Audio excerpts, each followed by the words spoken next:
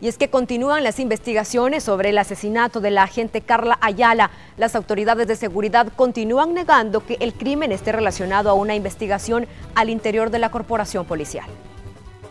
La agente Carla Ayala fue asesinada por su condición de ser mujer. Así lo dijo hoy en la entrevista de Hechos AM el ministro de Justicia Mauricio Ramírez Landaverde. Asegura que esta apunta a ser la principal causa que llevó a Juan Josué Castillo a desenfundar su arma y dispararle.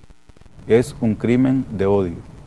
Es un delito que se cometió en razón del género de la víctima por su condición de mujer de acuerdo al ministro, la mayoría de los objetivos en torno a la investigación por el asesinato de la gente se han cumplido. Uno de los principales era localizar el cadáver de Carla Ayala. Sin embargo, aún falta dar con el paradero del principal responsable del feminicidio. Únicamente queda un objetivo por hacer, que es el principal, Juan Josué Castillo, el autor directo y principal objetivo en este caso.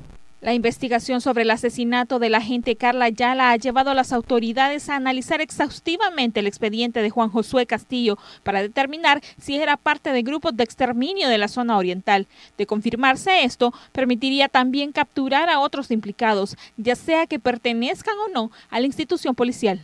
Eh, la investigación de este caso tan grave ha permitido también conocer otros hechos que han venido ocurriendo en relación al principal implicado que es Juan José Castillo y pues las eh, actividades a las que él pudo haberse venido vinculando desde el grupo de reacción policial. El ministro de Justicia asegura que al interior de la institución policial se hacen esfuerzos para erradicar todo tipo de violencia contra las agentes y dar mayores oportunidades de superación. De acuerdo a estadísticas, a nivel nacional a la fecha se contabilizan 293 mujeres asesinadas, lo que representa una reducción del 7% a comparación del año 2017, cuando se registraron 314 crímenes de mujeres. Katy Ramos, Noticiero Hechos.